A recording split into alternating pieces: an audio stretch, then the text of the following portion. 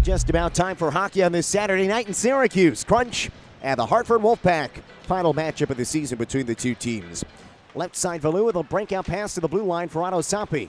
Couldn't get it past his man Laverty. Hard hit by Huntington near the blue line on Meskimen. Great hit by Huntington. In the right corner. Back to the right point, Yan. Cross ice, Raddysh. Foote and Raddysh play catch for the crunch. Five to go on the power play. Raddysh down low. Colton couldn't do much with it as he got tied up out in front. Yan, he scores!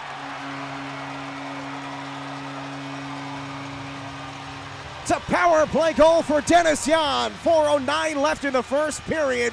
1 0 crunch as Yan has connected in three straight games and the crunch lead late in the first period.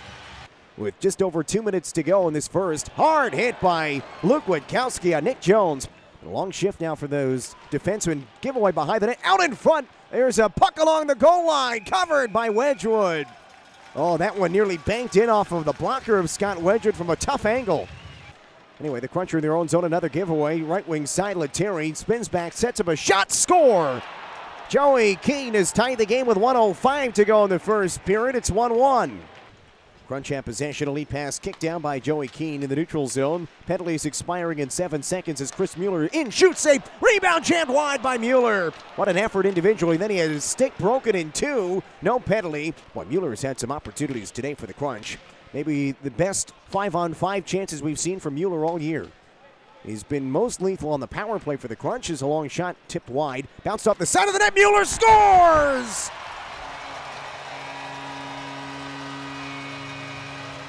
Chris Mueller puts the crunch up 2 to 1.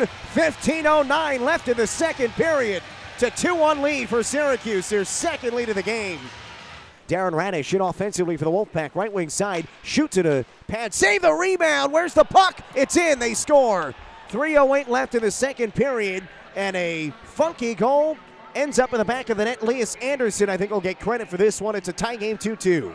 In left wing side, Matt Beleskey along the wall. Winds and shoots. That was blocked. Rebound swung ahead. Kicked loose. Stevens takes it. Chips it out of the zone. Here he comes. Oh, he got slashed. Penalty upcoming. Stevens will just protect the puck for now. Boy, that would have been a breakaway for Mitchell Stevens. And he's not going to get a penalty shot attempt. Wow, that's a tough break. So they discussed, they talked about it, the officials, and they do determine it is a penalty shot worthy play.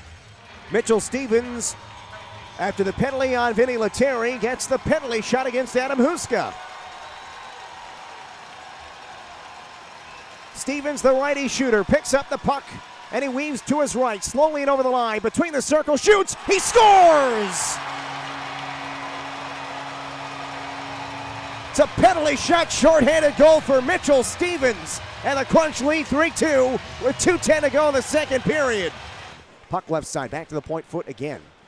Once this unit has gotten in there, though, they've had some good looks. So dangerous pass, but it came to Raddysh. Down low, Somppi, backdoor, score! Oh, out of midair, Ross Colton, 4-2.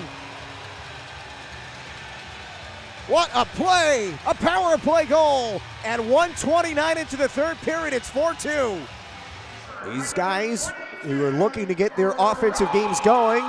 Ross Colton's another one. He's had so many opportunities lately posts and great saves down low. Martel in front. He scores!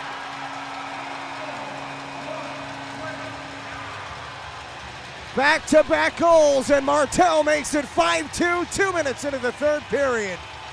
As the puck is along the goal line, they had signaled for the timeout. Now the Crunch have a two on one. It's Smith and Raddysh. Gemel Smith left circle for Raddysh. Shoots, just missed the left post. Oh, just missed it by an inch. Pulls back in the defensive zone with four minutes to go in this third period. Now up ahead for Steven Fogarty. Gloves it down. Nice move. Left side out in front. And it goes into the net. What a goal by Fogarty. Short-handed marker with 3.57 left in the third period. Down to 50 seconds to go on the power play. Barry takes it away. Pass across. Good one to Mueller at the red line. Shoots. And he scores.